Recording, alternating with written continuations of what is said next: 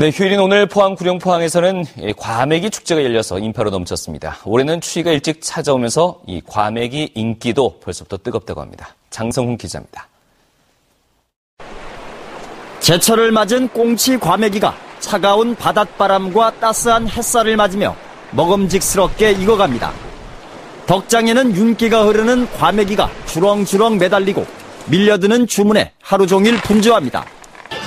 때마침 포항 구룡포항에서는 과메기 축제가 열렸습니다. 덕장에서 금방 나온 과메기를 맛본 사람들의 양손에는 어김없이 과메기 봉지가 들려 있습니다.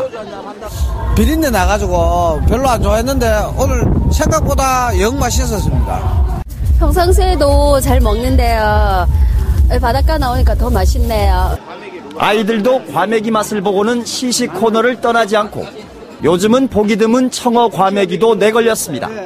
밀려드는 주문에 상인들은 과메기를 손질해 포장하느라 눈코 뜰 새 없이 바쁩니다.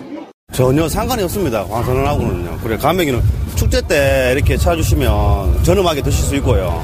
상인들은 방사능 여파에도 불구하고 올해 과메기 매출액이 700억 원을 넘어설 것으로 기대하고 있습니다.